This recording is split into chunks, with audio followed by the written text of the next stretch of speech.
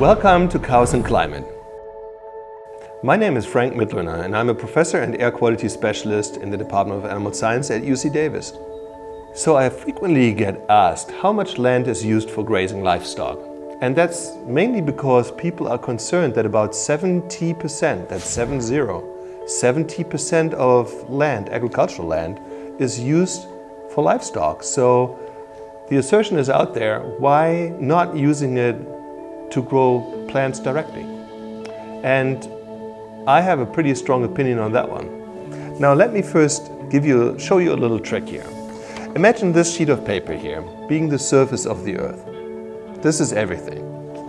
And now I fold it, and I fold it twice, until it's only a quarter its original size, or equivalent to the size of a postcard. This total amount of area is all land available in the world. The rest is water and ice. All land, rest water and ice. Now this is my business card. And the equivalent size of my business card is all agricultural land in the world. So again, this is all land and this is all agricultural land. Now I take my business card and I fold it into one piece that's two-thirds and the other piece one-third its original size.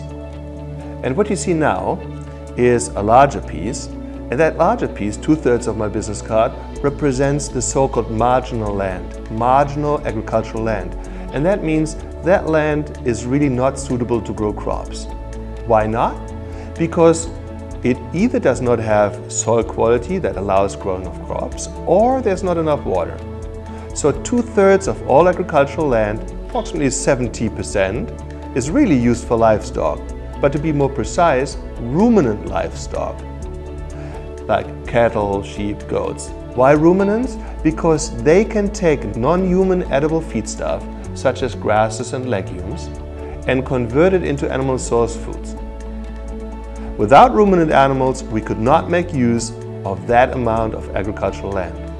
The remainder of my business card, the one-third, is all agricultural land that's considered arable and it's called arable because here you can grow crops, whether it's for people or for animals, and that's the only land we have in the world that is suitable for that purpose. So think about that.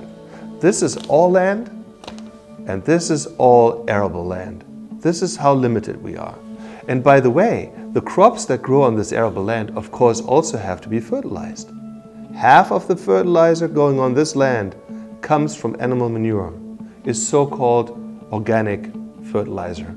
So if we were to forego animal agriculture altogether, then effectively it would mean that we would throw away the use of 70% of all agricultural land and we would have to replace all the organic fertilizer that goes on this land with chemical fertilizers, which are very carbon intensive in their production.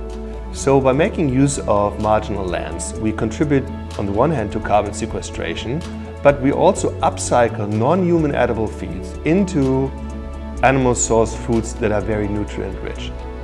This is precisely what needs to be done in order to feed a growing population.